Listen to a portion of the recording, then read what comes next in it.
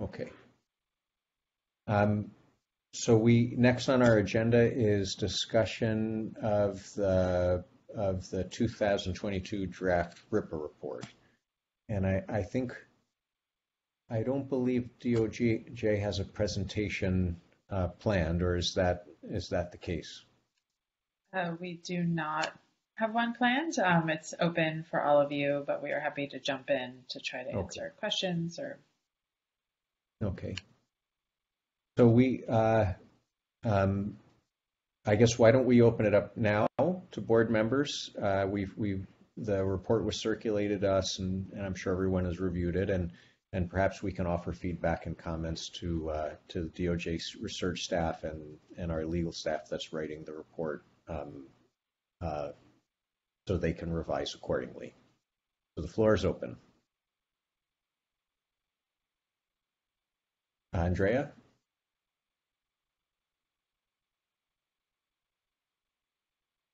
Well, first I Uh, want to, yes, thank you.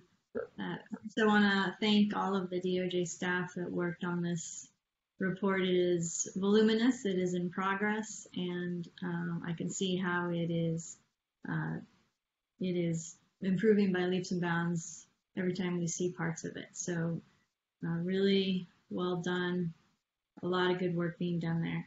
I wanted to particularly uh, thank you for the robust landscape setting that you do at the beginning of the report and the in the intro. I think that that um, you you heard us when we said we wanted to lay the context for what was an unusual year with the pandemic and um, and, and and then to think about racial and identity profiling in that context. So I thank you for that. I also really appreciate all of the good work done around um, the transgender policy conversation that's in the report and and the research that was done. I go on, on mute now, but I just wanted to express that gratitude for that deep work on those those two areas. Thank you, Andrea. Uh, Any, who would like to go next?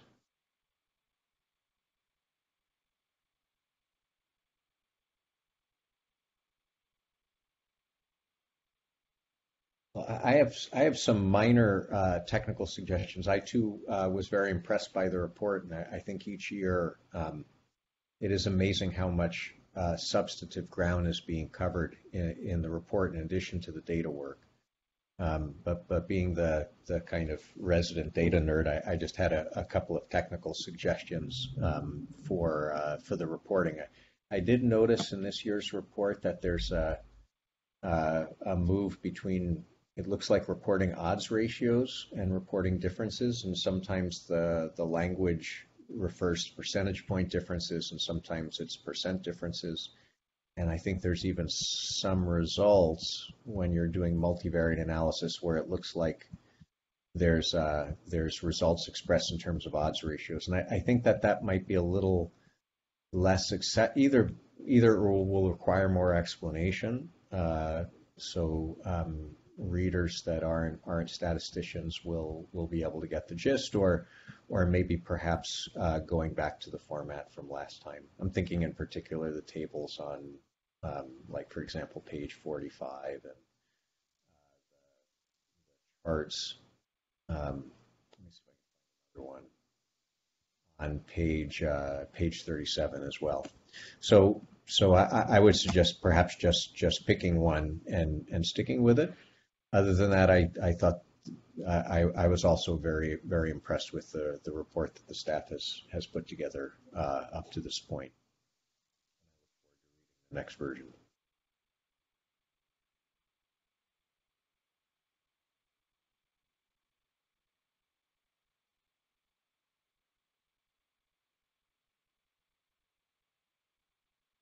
Thank you. I also, oh, I'm sorry. Go ahead, Lily. Oh, okay. Well, I also, yeah, I'm really pleased at how the sections have come through. They're more and more developed. I've said this before, but I really appreciate the explicit references to agencies that have taken actions and a concrete, ex- narrow but very important example was the years that CHP or um, agencies in Connecticut have prohibited consent searches. So I appreciated the the in the report really giving that background because I think it will point to recommendations or actions the board may be taken.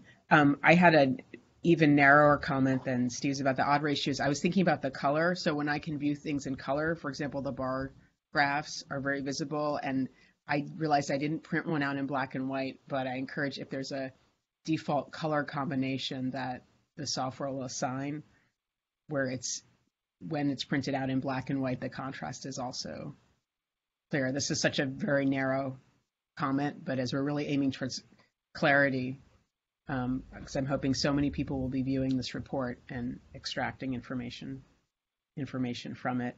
And then I just had a question. I know we know that there are placeholders for some data analysis to come. We can see the scope of the report has really, you know, it's grown dramatically. I heard the reference earlier from board member to the sheer volume and really appreciate the efforts. But I was wondering if someone could remind me what the time, someone from DOJ, the time frame um, for these last, um, you know, occasionally where it's highlighted in yellow and it says data analysis is to come and how those align with the subcommittee the subcommittee meetings. Also, I think might be helpful if Kevin could give those timelines. Okay. But, um, but this has to do with the issue um, with having to rerun the data because of the um, because of the glitches with Oakland and CHP. That's right, and I'm so. I mean, of course, I'm sorry that that it's un, unfortunate that it happened, but I really appreciate that that it was flagged and there's an effort to fix it. I'm thinking of, for example, some of the discovery rate analysis, um, and it doesn't have to be very precise time frame. I guess I'm just asking if it fits into. Is there a time frame that aligns with the subcommittees having a chance to look at those before this the subcommittee meetings? Kevin, sorry, go ahead. Yeah, no, I I actually do have a question. I had to jump off when we were talking with the subcommittee co-chairs on Monday. I had a hard stop, and we were talking about the scheduling of the next stop data subcommittee meeting. Uh, what, Allison, what was the week that we were shooting for with that? Do you recall? We are aiming to have, and you will all receive a doodle poll later this week to try to firm up the dates. Um, so we appreciate very prompt responses to those if we can. Um, we are aiming to have both the stop data and the policies subcommittee meetings the second week of November. So that gives us a few weeks ahead of Thanksgiving to incorporate any board member feedback or suggestions. And so um, by those meetings, and Kevin can give further detail about this, we expect to have the date include the data analysis in those sections of the report. That's correct. Yes. Okay. I just wanted to make sure I still recall uh, the correct timing. So second week of November, those subcommittee meetings, uh, the, the idea is to, uh, the meeting materials for those meetings will include um, the sections that are placeholders currently, um, and it will reflect the updates that the department had to make when rerunning the analyses based on the updates with the data transmission error. So it will reflect the uh, data that is current um, so that the subcommittees can discuss it at those subcommittee meetings. So we are on we are on track to get those distributed. What does it sound like? Two weeks or so from now. What was, what was it? Three three weeks from now for the eighth meeting. So, our week of the eighth meetings.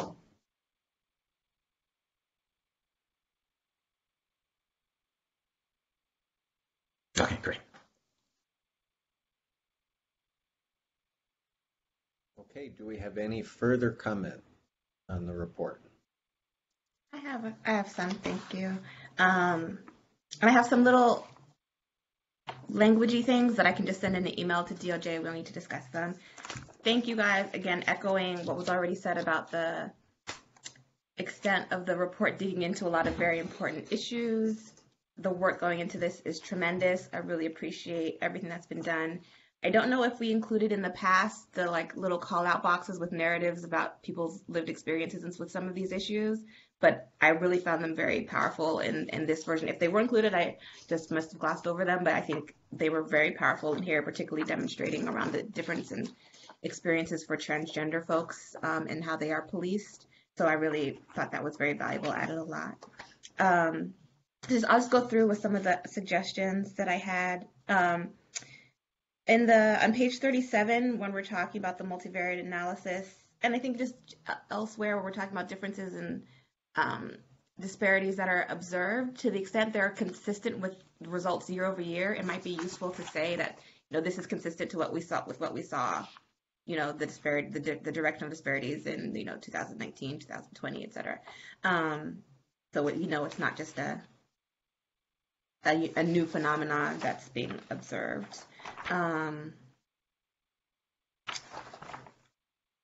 uh, when we're talking about the transgender policing of transgender individuals in the proposed legislation um, just to flag that if, if SB 357 isn't signed into law this year, which is mentioned, um, that it would be potentially useful for the for the next year's report to track the disparities along uh, the same lines you already identified in stops for sex work type offenses specifically, um, so that we can know kind of if if it doesn't pass, then that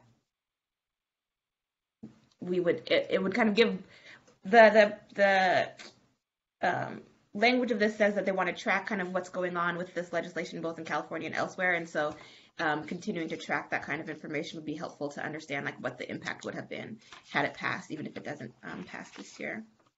Um, uh, this is like a question well, one thing that was very striking to me was the observation of the differences that young people experienced in the way that they're policed. Like they were more subject to consent searches, more subject to other types of things. And given that next, just as an idea for, for next year's report, um, given that so many new agencies are coming in, I want I don't know how many of those reflect like school police or other um, entities where there's going to be more con- uh, more data points about how folks are policed in and around schools um, I think it'd be great to include kind of more of a, of a close look on that kind of information um, in next year's report if we have that data coming in. And when we're talking about the ADA section on policing um, people experiencing homelessness, um, the exa- one of the examples that's given is, I think, on page 75. Um, examples of illegal arrests and violations by of the ADA by law enforcement officers, and it mentions a store owner calls to report that an apparently homeless person is in front of the store. People are complaining. He is talking to himself, but he's he has a mental illness and is violating no loitering laws. Um, in reality, there's almost always going to be a law that some, that exists that's on the books that someone can be violating. So I think the fact I think that's a high standard to say he's violating no loitering laws. I think if the focus of RIPA and um, the the the definition of bias that we have is whether or not not whether there's no basis to do conduct a stop, but rather if if something about an individual's identity is impacting the likelihood that the stop will, will happen in the first place or the actions taken, I think um, it might be better or provide to provide some examples um, about how the fact that someone is experiencing homelessness makes them more likely to be subject to these things in the first place, not that um, they are subject to this without um, basis. So I think both things are are true, and I just just in terms of trying to think of examples where the where officers engaged in biased policing um, that would violate the law, at least in California. I think that's an additional category of examples. Um, there's lots of times people are outside of of um, buildings. There's lots of times that people have things on the sidewalk that are blocking um, folks, you know, egress and are not stopped or have that have their material um, detained, um, taken from them, etc. I appreciated the best practices policies for the rec- recommendations for policies. I think though on page 77 when it discusses the board beginning to explore evidence-based best practices related to police interactions with individuals perceived to have disabilities and alternatives to police responses, I think there's much more uh, evidence based material on alternative forms of response, and we actually do talk about that substantially in the report later on. So I think that should be something that's highlighted here as well that the, the solution is not just teach officers how to engage with people experiencing mental health crises, crises or other disabilities better, but also let's find ways and support ways of you know de- de- redirecting those responses completely. And again, it's already discussed in more detail in the report, so I think highlighting that as like maybe the first alternative, and even saying like as we further discuss in the report in section X. Um, but I think that should be highlighted here too as kind of the probably first step in addressing these. Um, one one additional recommendation that I don't think is in here is noting that dis- discontinuing the use of specialized units for that essentially have the purpose of like outreach teams uh, to deal with folks um, in these categories. Um, I think also when we're talking about options on page 78 mentions there are a few foundational principles agencies may wish to include in their policies. I think we also might want to be suggesting direction to municipalities. I think that's um, what exists kind of in the later subsection uh, in ways that municipalities can address these issues differently, but I think that might be a place to also put it here. Um, I think for subsection, I think some stronger language might be useful in some of these places. So, for instance, mentioning that on page, this is also on page 78, that policies may include language on the importance of not criminalizing those with mental health disabilities. Um, just because someone appears to have a disability or appears unhoused, that's illegal. So I think it's not just like it's important not to do this thing. You're violating the law if you do that thing. So I think let's make like we can have some stronger language there.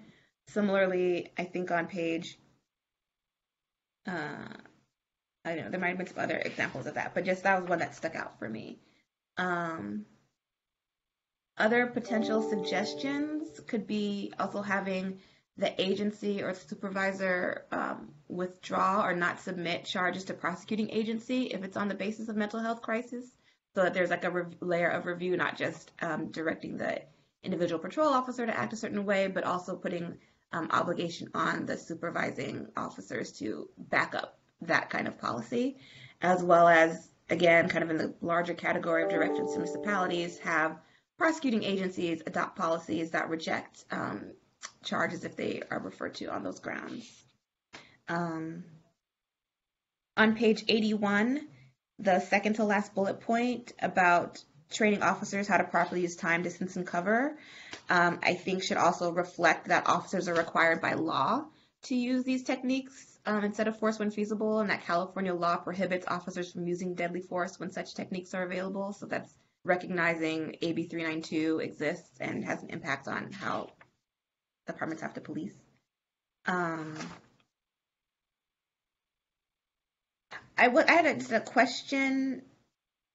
So I really appreciate it on when we talk about the um, pro- pro- policies and accountability section, how the intro now includes the full extent of what bias policing is. It's not just stopping; it's taking any action, and it's also um, uh, just influenced by, not totally driven by the fact of someone's identity. Um, but I wasn't sure if the analysis of the policies indicated um, whether or not the, they also captured that distinction or that that full the full definition of what is bias policing under California law. Um, I don't know. Um, may, maybe it already captures that, and that's included in like the check marks, but I just wasn't sure if that was true. And I think that's relevant, particularly when you get further along in the um, evaluation of complaints, because if it's not part of the department's policy, if someone's doing a thing, it's not going to be sustained as a violation of that policy. Um, so it's, I think it, it has further downstream impacts how exactly the department is defining it. And so knowing whether or not their definition includes all of these other actions as defined under California law is relevant. So it could already be captured in there, but it was just not clear to me um, whether or not that is true when they're evaluating the sufficiency of the policy. Um, on page 113, it, it mentions um, that 16 agencies use commercially available racial bias-based policing policies purchased from a vendor. And again, I think this is pretty sure this is Lexipol, and we talked about previously like saying Lexipol, and I think it's important that it be identified as the entity because folks who are not deeply versed in this will have no idea that this is um, who this is who they're talking about here. And I think when it was a question of whether or not we did that. We've I think we've done that in prior reports. We did identify Lexipol as you know an, an actor here, and I think it's important that we do so. So I would strongly ask that that be specifically added. Um, on the uh, accountability portion, when we're talking about auditing or confirming the accuracy of of officers' um, data collection for for the RIPA data, that one of the proposals is to review body cam footage for filing out data if it's not done immediately, and that actually kind of is in conflict with best practices around um, body cams, which is not to allow officers to review body cams prior to giving a statement on an incident. Um, obviously, not all stops are going to result in complaints or criminal or civil um, proceedings, but I think given that it's un- unclear, you know, when and where that will happen, I think it's better probably to just insist on or as a best practice to be contemporaneously doing it um, rather than potentially undermining other types of investigatory actions by having them re- re- refer to the body cam footage um, for later. Um, and um, when we're talking about the community review boards or critical incident review boards, just one thing to be thinking about is um, especially when we're talking about best practices, most effective, it, what is the goal here? Is the goal the appearance of legitimacy, which is definitely a benefit that comes from using some of these boards, or is it having a real difference in outcomes? Um, and so, just even identifying what is actually achieved, and if it is difference in outcomes, like what is how is that demonstrated in these different jurisdictions? Um, and it, how how is ability to actually impose discipline rather than review and just opine on the appropriateness of use of force uh, part of the consideration of whether or not something is actually a best practice for civilian oversight and is an effective civilian oversight mechanism. Um, those were my main substantive comments. Again, I have like little things that I can just um, include in, in an email. But I guess my one question that was not necessarily covered by any existing element of the report was just um, thinking whether it might be useful, even if not in this report, but in the future reports, to include something that actually discusses the access to the public of the information that's uh, being collected here. I think this report is amazing. It gets this information out to folks in ways that would never be possible otherwise. So many agencies over the past have had to collect data almost identical to what's being collected here, and nothing is done with it. So the fact that it's available to the public on the dashboard. It's available to the public in the report form. It's amazing and it allows for so much um, more advocacy to be done. Um, but I'm also curious as to, you know, RIPA, this analysis was always intended to be like a first step, right? We intended for local jurisdictions, whether they be agencies or members of the public advocates, um, to conduct additional analyses. And so just trying to understand like how how are people getting access to this data? How are they are they able to? And i wanted to say from like our personal um experience from the aclu like we've honestly had a hard time getting access to some of the data that extended beyond some of the analyses that are already included in here.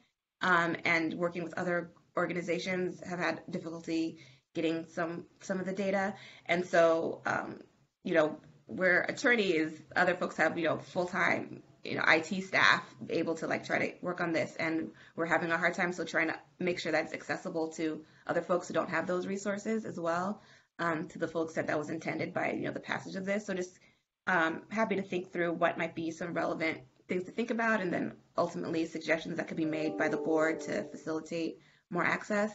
Um, but I think that might be something that could be useful also to include in the report um, for future. So thank you. That was a lot. Um, but I thought this was amazing. It's going to be so useful for folks doing the work on the ground to really have this information and have these recommendations. So really can thank you so much for all of this.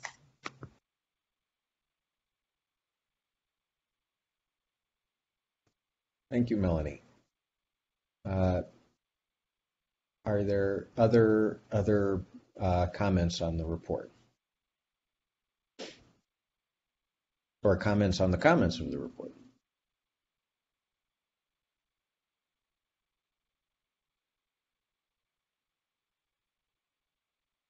I would say just to the latter point um, that um, that uh, board member Ochoa raised, it might be interesting to perhaps uh, think about trying to come up with some instructional videos on on how to download it, software that could be used to call it. It, it is a large file and it's available on Open Justice, um, but it, it's it's hard. The barriers to, to analyzing it, you know, requires some some knowledge of of using statistical software, and so we could imagine trying to put together a resource guide that would help people get started in their analysis. Okay, can I, can we ask, uh, are any other board members, uh, do we have any further comments on the current draft of the report?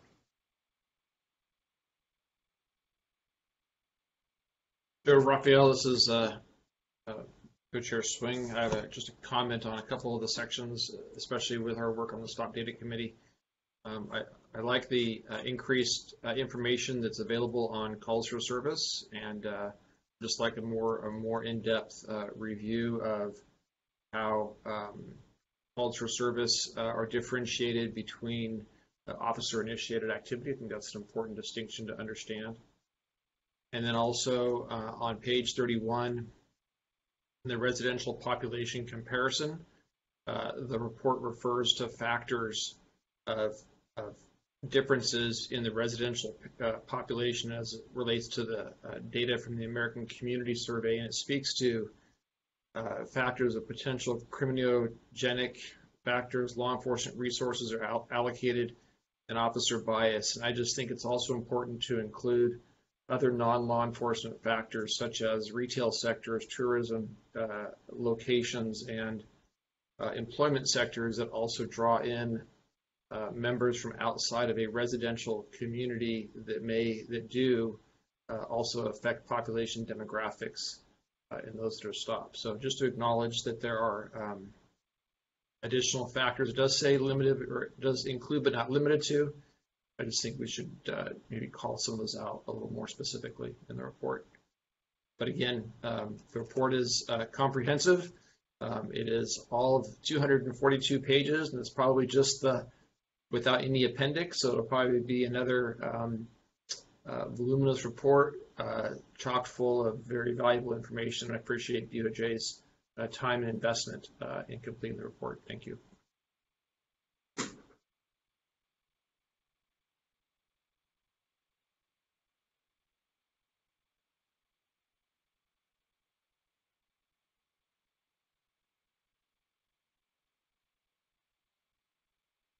All right. Any further comments from board members?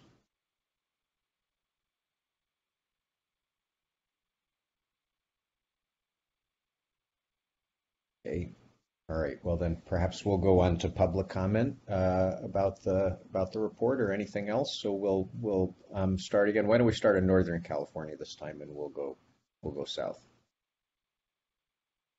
Any comments from Northern California?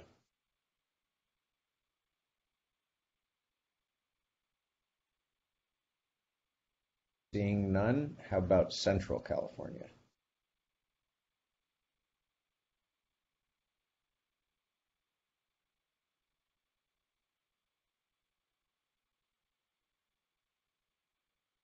All right, so we'll go to Southern California. I see Mr. Oh. Hilton unmuted. Yes. I have a lot to talk about, but I won't right now. I do commend Commissioner Ochoa for um, hitting on some very important points. And these are things that had I or you had narratives and read the narratives or analyzed the narratives, you'd have come to very much the same conclusions. As it stands, the DOJ continues to refuse turn over narratives for the reason that they contain OII and PII. I repeat to the DOJ, and I repeat specifically to Sheriff Ayub that it is the responsibility of both of them remove the OII and PII that I believe has been deliberately placed in those narrative fields so as to refuse the disclosure of them. Again, Ayub's people have asked me to pay for it. I can't afford it, and I won't because it's against the law for him to do that. I embraced to hear, because I have not read, that policing in the pandemic is included in this new report. I will tell you what it says. It says that disparities increased even though the number of stops decreased.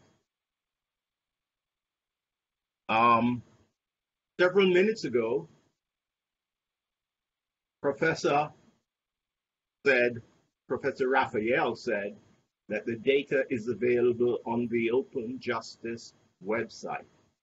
I would like to know just what data that is. It certainly is not data for 2020. It may be data for 2019. If it is there, it has recently been placed there. I tell you what my experience has been. I have asked for that data from the CHP and the Oakland corruption or glitches or transmission problems, select the word, and I have yet to receive it in its entirety. What I did receive is a partial submission that showed that almost 10,000 CHP records were in it, in the correction that had not been there before. So the data is fluid. As for Oakland, well, they are a remarkable lot. And I have not seen their data, and I expect not to see their data until it's too late for me to act on it. So if um, someone can clarify what data the professor speaks about, that would be helpful to me. I think that's all. Thank you.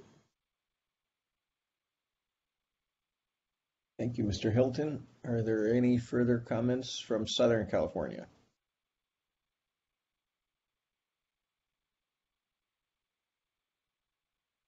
Hey, I'm not seeing any.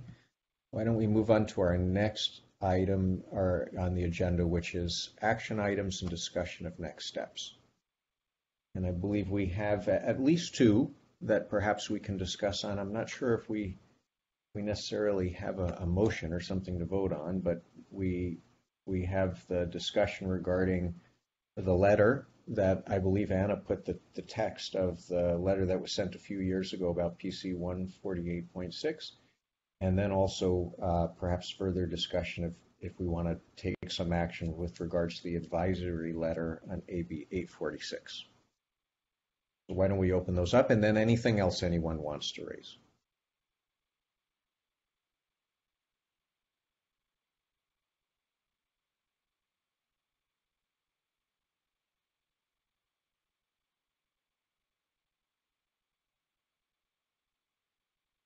Andrea? Yes, so I, th- I think that's good, and I would um, just say that the other next step is that the the committees will be doing another round of meetings, and so we will be. I, I believe that will be the last um, round of committee meetings for the year, and the the public is welcome to participate in all of those, um, and that will be prior to us making a, doing a final review of the of the report in our December meeting. And so I think we're we're making good progress. Um, and uh, regarding the letters, I given that where we are in the year, where you know the legislative season for the year has ended, um, I think that uh, it would be fine to send a letter that wraps up all of the legislative recommendations all together um, and to do so as a transmittal letter with a report um, I think would be, you know, would be fine um, to arrive on January 1st, which is when the report is published. So I think a, a single letter that that wraps up all things would, would be fine to let the legislature know what our both uh, new recommendations and outstanding recommendations.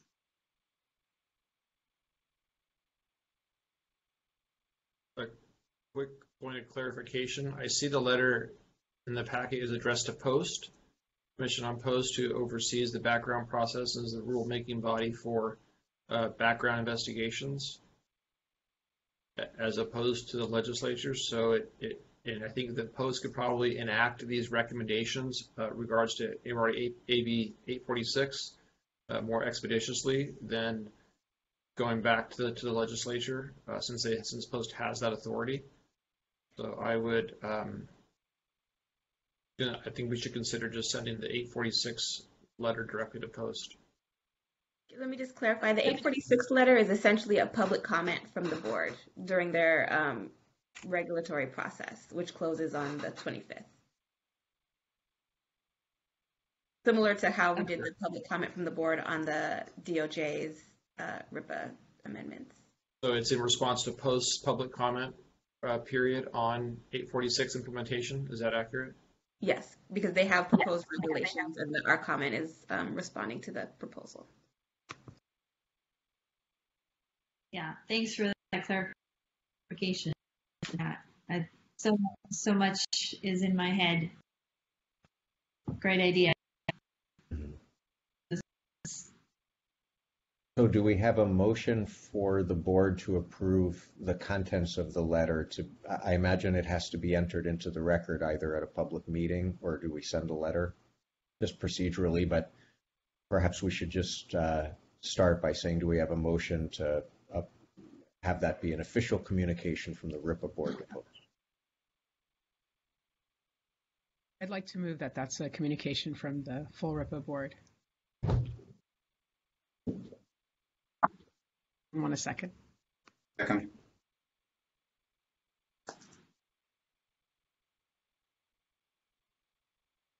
Okay, shall we, shall we go through a vote? Sorry, just for clarification for minutes purposes, who who made the second? Simon Woods made a second. Thank you.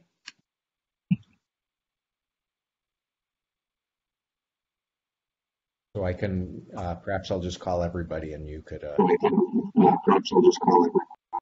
um, how about uh, Board Member Ray? Yes, I approve the vote. report. Okay, and Board Member Hawkins? I approve. Board Member Swing? From my co-chair? Aye.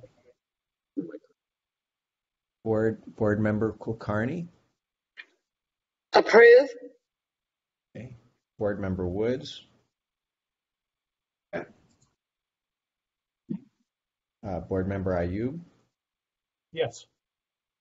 Board Member Khadjavi? Okay, I approve. Board Member Guerrero? Yes. Board Member Va- Vang? Sorry, I hope I pronounced your name correctly. You're right. They, yes. Board Member Ochoa?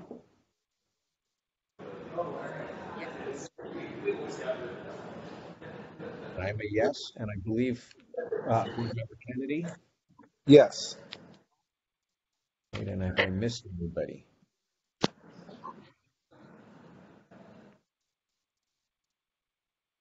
Uh, I, I would vote yes as well. Armaline, William? Thank you. Thank you. Okay, so I believe that's unanimous. That passes. How about with regards to PC 148.6? This is the issue regarding complaints and the, the prior communication to the legislature. Perhaps we want to wrap You, that in. Sorry. When we um, looked at it, we did review the board's um, identified over the um, the best practice over the um, last four years, the past four years. So that was taken into consideration when it came to this. Mhm.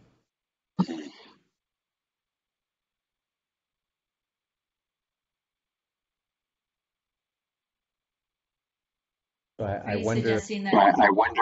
that we update the recommendation to, to include uh, a reflection of, of additional information? I just wonder if there's. I a- just wonder. I'm sorry, Luan. I didn't mean to interrupt. I'm sorry. Um, we're asking for it to be added, legislated to add it to the state law.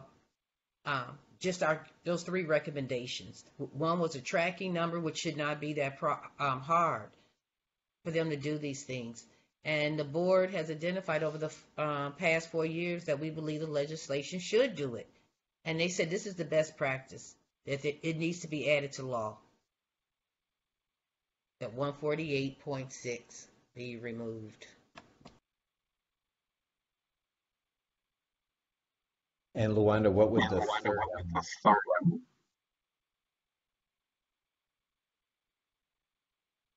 I didn't So we hear have a- you. Oh, I'm sorry. We have a tracking number. Remove PC 148.6. And then, Um, of because we also- believe it deter, it deters people from filing a complaint. And we don't know if it really has to be on the complaint form or not. Yeah, we really don't know. Can it just be on their website? Uh, will that be sufficient? But we do believe everyone should, who files a complaint in the state Yeah, of so I California think- should be given. Yeah, and I, you know, just the board has already um, concurred with with that opinion. They've already sent a letter, so I think the question now is, um, what do we do to elevate that with the legislature? And so I think it. My suggestion is that we we transmit the report with a letter that says these are our recommendations because I, I believe there's some new ones that are, are going to emerge from the report and we reiterate this recommendation that we made previously, see attached letter, um, and um, urge you to act on this recommendation uh, for these reasons.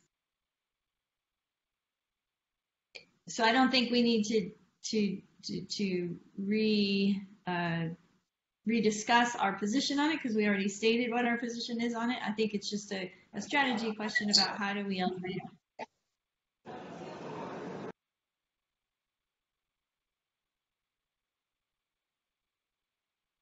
Well, I, you know, one, one path, so I'm happy, and I don't, perhaps we don't need a, a vote to do this, but I could work with DOJ staff and, and co-chair Swing, and we can perhaps draft a letter to communicate that could be delivered along with the report to the legislature, and we will re-up the content of the last communication from, I believe it was 2019, that, that uh, Anna kindly found for us. And, uh, and how does that sound for a path forward? Or do we need a vote on that as well? I think for clarity purposes, just so there is very clear direction, it might be helpful to have a vote on whether the board approves the co-chairs to work with DOJ on a transmittal letter that transmitting the current recommendations in the report and the past recommendations that the board has made as well to the legislature. Okay, well, I'll make that motion. I will second that motion. Okay, so let's, let's go, let's have a vote. Um, Board Member Guerrero, Aye. uh, Board Member Carney, Aye. Board Member Swing, just created Aye. more work for you. Board Member Hawkins. Board Member IE. Okay. Board Member Ray, Hey, just confirming that we're recommending that the board works with DOJ. every time I'm in saving Christ. That's only up like a mile, man. Are you kidding? Um, Co-Chair Raphael, if, if we can just ask if who, if someone's not actively engaged in conversation to mute, there's some background. Um, I'm unable to hear Commissioner Ray. Okay.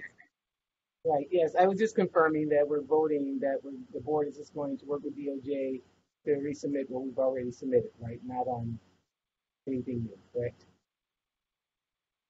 To re, well, to re-up what, what we submitted in the past and then also to convey formally via a letter the recommendations from our, from our current report.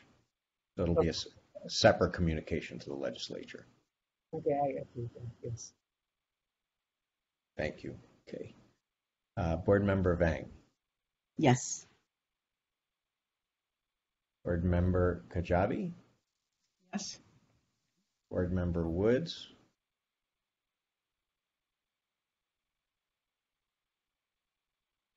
uh, Board Member Woods,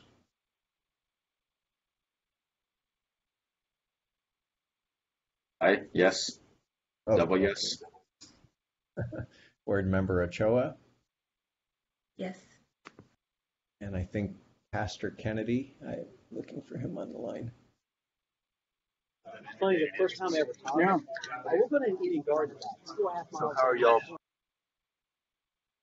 Okay, and I'm a yes, so that, that passes as well. Okay, are there Dr. any, Armaline, are are you still on the oh, line Oh, too? I'm I just want to make sure he gets a chance to vote as well. Thanks. Yes. okay, thank you. Sorry, I'm sorry, sorry, Dr. Armaline, I'm just seeing, I'm looking at the, at the, at the, on videos. Sorry about that. Okay, all right, are there any other action items? Or, or, or further steps, next steps? I guess we can open the floor for anyone who wants to offer a suggestion.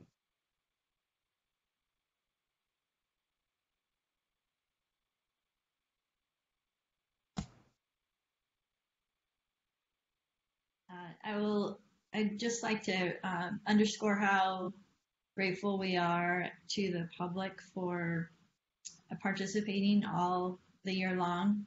We're in the final home stretch. We have a few months to go, and this next phase is really important and will require um, we can get a product out to the public. You.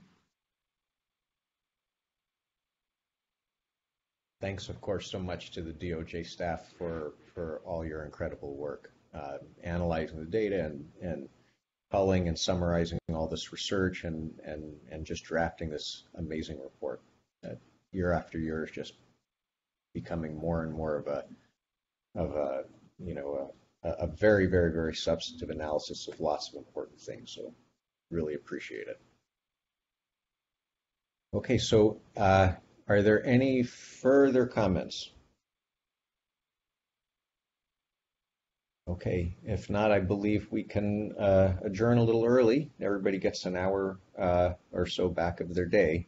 So again, thank you, everybody. Thank you, DOJ staff and my fellow board members for uh, for your dedication and for devoting your time, and to the public for for showing up and, and providing your feedback.